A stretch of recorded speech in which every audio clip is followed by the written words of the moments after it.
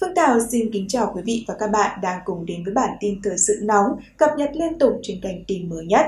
Chương trình ngày hôm nay của chúng tôi có những nội dung đáng chú ý nào? Mời quý vị và các bạn hãy cùng lắng nghe.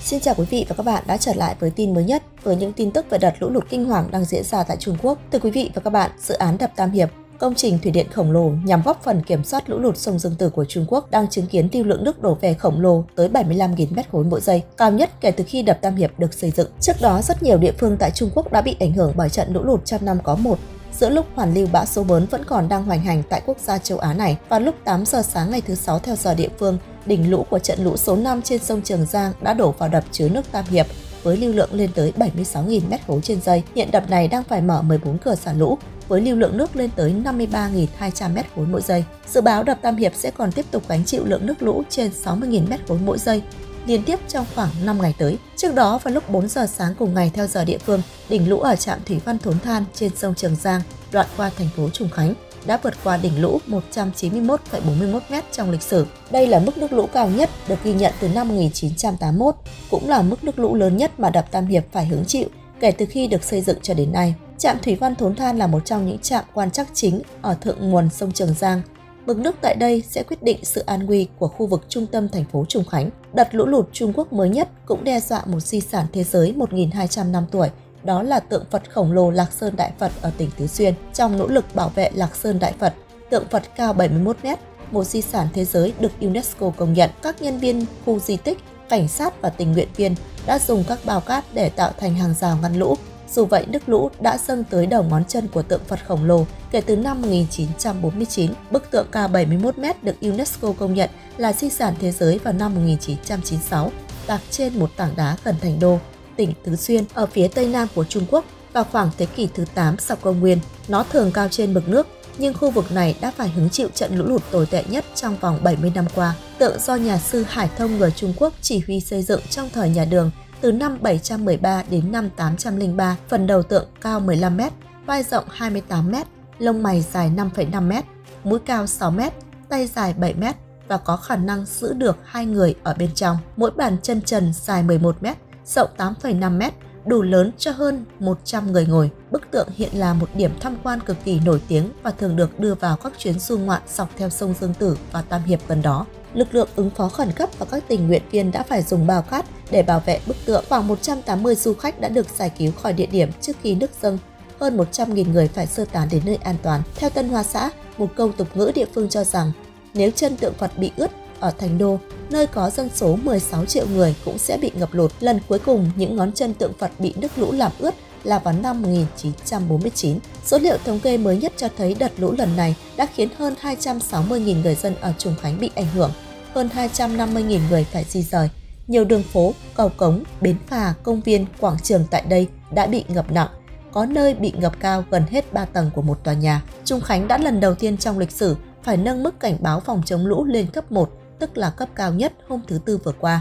Do ảnh hưởng của mưa lớn kéo dài, hiện mực nước của hơn 55 con sông ở thượng lưu sông Trường Giang đã vượt mức báo động, trong đó có gần 30 con sông vượt mức an toàn, 9 con sông vượt mức nước lũ lịch sử. Kể từ đầu mùa lũ, Trung Quốc đã phải vật lộn với hàng loạt trận lũ kinh hoàng, tập trung ở phía nam, mực nước tại đập Tam Hiệp, công trình thủy điện lớn nhất trên thế giới đã đạt mức cao kỷ lục là 164,2 m vào cuối tháng trước. Mực nước tối đa mà hồ chứa có thể tiếp nhận là 175 mét, khoảng 60 triệu người ở 27 trong số 31 tỉnh thành của Trung Quốc đã bị ảnh hưởng bởi lũ kéo dài nhiều tuần, với ít nhất 178 người thiệt mạng hoặc mất tích, thiệt hại kinh tế trực tiếp do lũ lụt ước tính khoảng 164 tỷ nhân dân tệ, tức khoảng 29 tỷ đô la Mỹ, cao hơn 17% so với trung bình 5 năm. Những thiệt hại này còn dự kiến tăng trong những ngày tới, chỉ làm phức tạp thêm sự phục hồi của Trung Quốc sau đại dịch. Chỉ số giá tiêu dùng CPI nước này trong tháng vừa qua đã tăng 2,9% so với cùng kỳ năm ngoái, tháng trước đó tăng 2,8%, một phần do giá thịt lợn tăng và thiên tai. Việc tăng giá lương thực và lạm phát CPI nói chung khiến các nhà chức trách Trung Quốc có ít không gian hơn trong việc điều chỉnh ngân sách. Trước đó trong hai tháng vừa qua, Trung Quốc đã chịu tác động mạnh của thiên tai và lũ lớn. Theo Bộ Quản lý Tình trạng khẩn cấp của Trung Quốc, ước tính thiệt hại do mưa lũ gây ra tính đến cuối tháng vừa qua khoảng 438.000 ngôi nhà bị hư hại. Thiệt hại kinh tế trực tiếp lên tới 148,43 tỷ nhân dân tệ, tức khoảng 25,66 tỷ đô la Mỹ. Trước đó, lũ lụt đã ảnh hưởng trực tiếp đến cuộc sống của 26,8 triệu người tại 24 tỉnh của Trung Quốc. Tổng cộng có 51 người được báo cáo là mất tích hoặc đã chết và 2 triệu người phải rời bỏ nhà cửa. Thiệt hại kinh tế ước tính lên tới 64,4 tỷ nhân dân tệ, tức khoảng 9,6 tỷ đô la Mỹ. Giới chức Trung Quốc ước tính lũ lụt năm nay đã ảnh hưởng tới khoảng 65,5 triệu người dân nước này, gây thiệt hại khoảng 28,8 tỷ đô la Mỹ. Số người chết hoặc mất tích là 289 người, khoảng 64.000 ngôi nhà đã bị lũ lụt phá hủy. Mùa lũ năm nay ở Trung Quốc xuất hiện với tần suất lớn, khiến mực nước tại nhiều sông hồ dâng cao trên khắp Trung Quốc. Tổng cộng 684 con sông có mực nước vượt ngưỡng cảnh báo, trong đó 224 con sông vượt qua ngưỡng đảm bảo an toàn.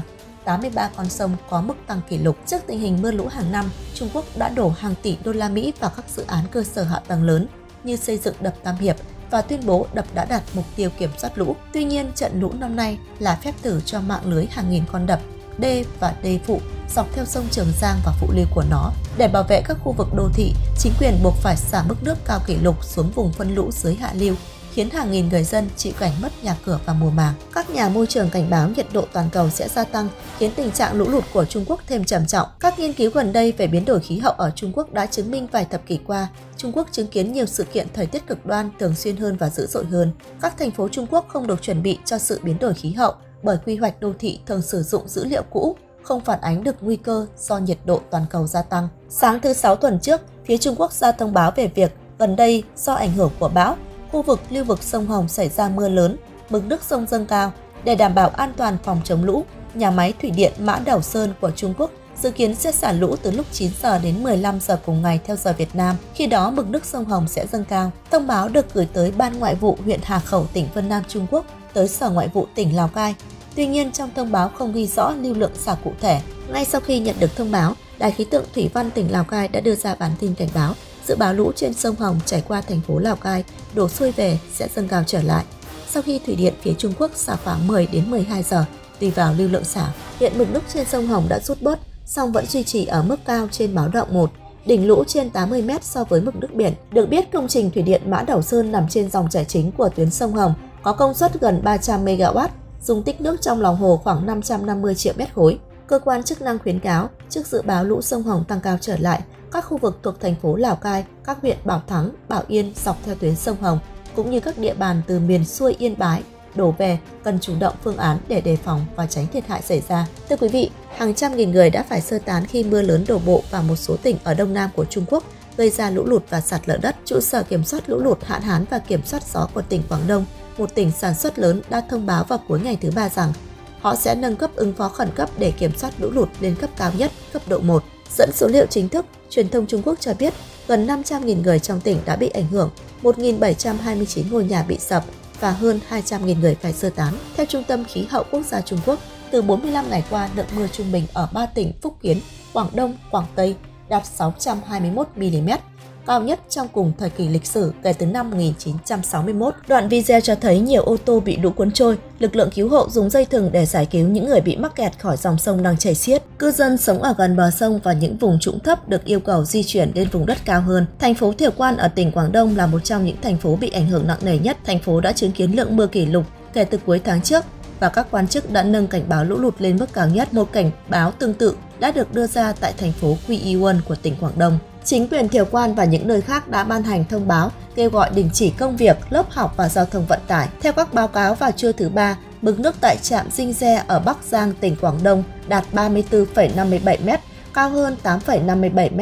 so với mực nước cảnh báo, vượt mức nước cao nhất từng được đo trong lịch sử. Chính phủ Anh và Đức tuyên bố vào thứ Tư, đỉnh lũ cao tới 36,1 m sẽ xuất hiện tại khu đô thị chính Dinh Trang kêu gọi người dân nhanh chóng sơ tán. Các cảnh quay trên mạng xã hội cho thấy tầng 1 của tòa nhà địa phương bị ngập hoàn toàn. Ở hạ lưu châu thổ sông Châu Giang, những cơn mưa xối xả đã làm trầm trọng thêm cuộc khủng hoảng về chuỗi cung ứng.